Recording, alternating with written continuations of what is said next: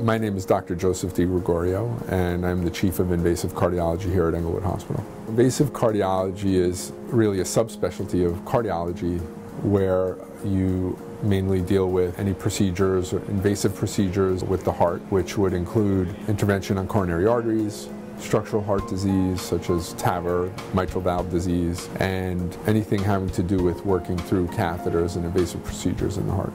The evolution of this technology still astounds me and how quickly it evolves also. And there, there will be more and more we can do for patients to fix their valves and to fix their coronary arteries and to deal with these problems. How many cases do you have tomorrow?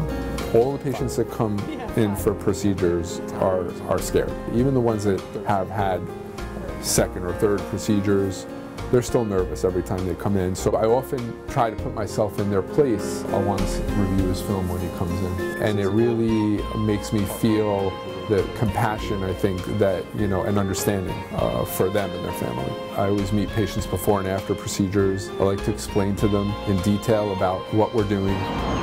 I love working here. It's been my favorite place to work, and I've worked at a few different places. But I love that they understand the philosophy with which we need to approach patient care.